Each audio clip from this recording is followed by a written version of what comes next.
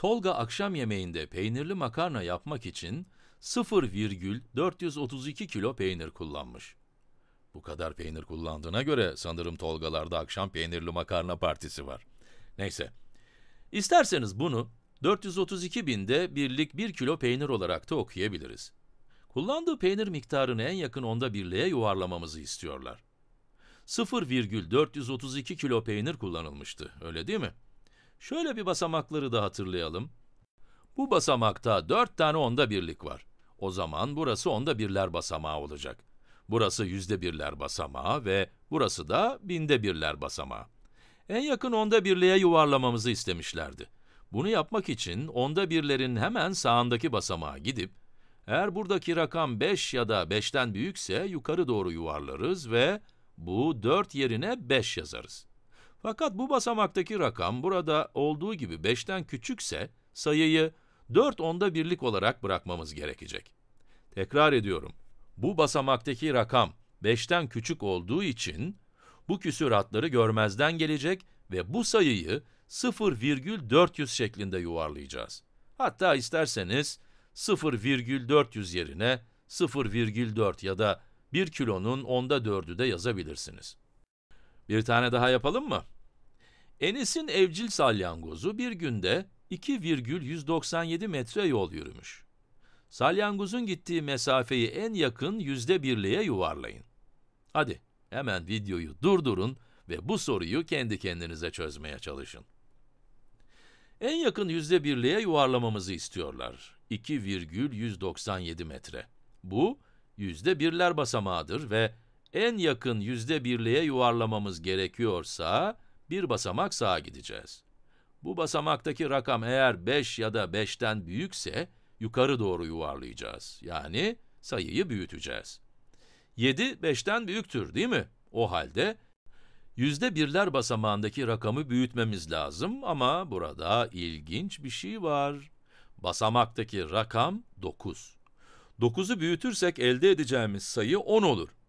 Ama bu basamağa 10 yazamayız. Onun için şöyle düşünelim. Mesela burada 19 var diyelim. Buna benzeyen örneklerde 9'u değil de solundaki basamakla birlikte 19'u ele alıp 19'u 20'ye yuvarlıyoruz. Ya da başka bir şekilde de düşünebiliriz. 20'ye yuvarladığımızda aslında şuradaki 9'u 10'a yuvarlamış ve buradan gelen fazladan onda birliği de yine onda birler basamağındaki 1'e ekleyip 2 elde etmiş oluyoruz. O halde 2 virgül 19 yüzde birlik ve 7 binde birliği en yakın yüzde birliğe yuvarladığımızda 2 virgül 20 yüzde birlik elde ederiz. 2 virgül 20. Aynen bir önceki soruda olduğu gibi, istersek bunu 2 virgül 2 olarak da yazabiliriz ama en yakın yüzde birler dedikleri için 2 virgül 20 olarak bırakmak daha iyi. Bunun gündelik hayatınızda ne kadar çok işinize yarayacağını da göreceğinize eminim. Hadi bir tane daha yapmaya ne dersiniz? Canan okulda her gün 6,75 saat kalıyor. Canan'ın okulda geçirdiği süreyi en yakın tam saate yuvarlayın. 6,75. Kafanız biraz karışmış olabilir ama yine de videoyu durdurun ve soruyu benden önce kendi kendinize çözmeyi deneyin. Evet, ne diyordum? Belki kafanız karışmış olabilir.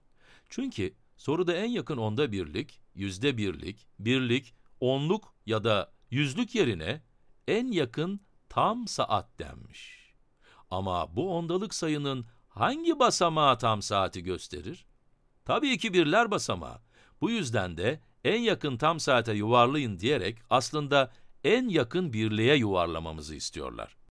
Yine birler basamağının sağındaki basamağa gidelim.